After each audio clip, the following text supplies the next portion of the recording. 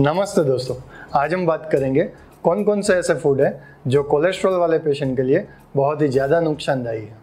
Commonly जो भी foods में सेचुरेटेड फैटी एसिड की मात्रा ज़्यादा होती है, वो फ़ूड कोलेस्ट्रॉल वाले पेशेंट को नहीं लेना चाहिए। इससे पहले भी हमने कोलेस्ट्रॉल के बारे में डिस्कस किया था।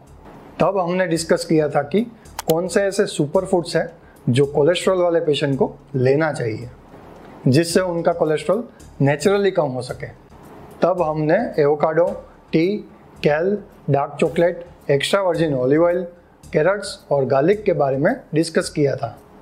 ये सब फूड्स लेने से आप कोलेस्ट्रॉल नेचुरली कम कर सकते हैं। आज हम डिस्कस करेंगे कि कौन से ऐसे फूड्स हैं जो कोलेस्ट्रॉल वाले पेशेंट को अवॉइड करने चाहिए। उसमें नंबर वन आता है कोकोनट ऑयल। कोकोनट ऑयल में सेचुरेटेड फैटी एसिड की मात्रा ज़्यादा होती है। Coconut oil is 100 percent fat.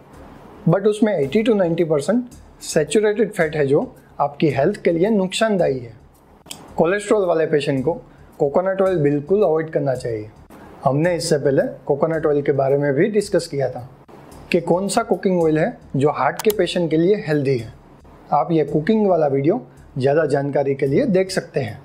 Number two is non vegetarian food non vegetarian food में बेकन सोसेजेस और चिकन विंग्स में सेचुरेटेड फैटी एसिड की मात्रा ज़्यादा होती है। इसमें प्रोटीन की मात्रा भी ज़्यादा होती है। पर प्रोटीन के लिए आपको प्लांट बेस्ड प्रोटीन पे ज़्यादा डिपेंड करना चाहिए compare to animal based protein non vegetarian foods की प्रिपरेशन में ऑयल भी ज़्यादा यूज़ होता है।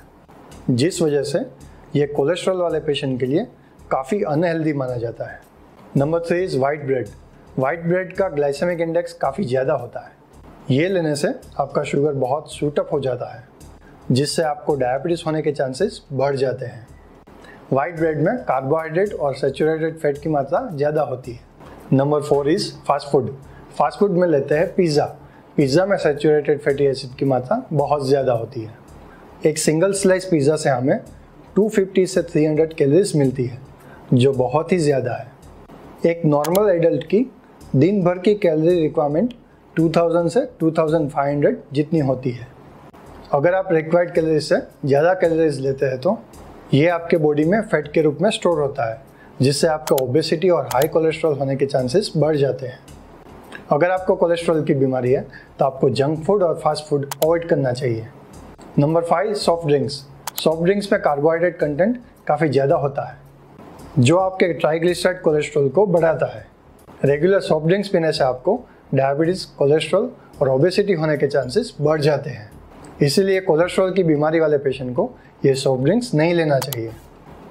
Number six is butter 100 gram butter में 51 ग्राम सेचुरेटेड फैट पाया जाता है। कोलेस्टेरॉल वाले पेशेंट को बटर बिल्कुल अवॉइड करना चाहिए। कुकिंग या खाने में जो हम एक्स्ट्रा बटर लेते हैं, वो तो बिल्कुल अवॉइड करना चाहिए। Number seven is French fries French fries एक तो आलू से बनती है और ऊपर से ये आप ऑयल में बनाते हैं। यानी कि ये कोलेस्ट्रॉल वाले पेशेंट को लेना ही नहीं चाहिए। अब आते हैं दूसरे कुछ फूड्स जो कोलेस्ट्रॉल वाले पेशेंट को अवॉइड करना चाहिए। Biscuits popcorn sweets cakes cookies और पेस्ट्रीज ये सब में बहुत अच्छी मात्रा में कार्बोहाइड्रेट और फैट कंटेंट होता है, जो कोलेस्ट्रॉल वाले पेशेंट को नहीं लेना चाहिए। तो आज हमने जाना कि कोलेस्ट्रॉल वाले पेशेंट को कौन से फूड्स अवॉइड करने चाहिए। और इससे पहले हमने डिस्कस किया था कि कोलेस्ट्रॉल वाले पेशेंट को कौन से फूड्स खाने चाहिए? तो ये दोनों चीज़ों का आप ध्यान रख के आपका कोलेस्ट्रॉल कम कर सकते हैं।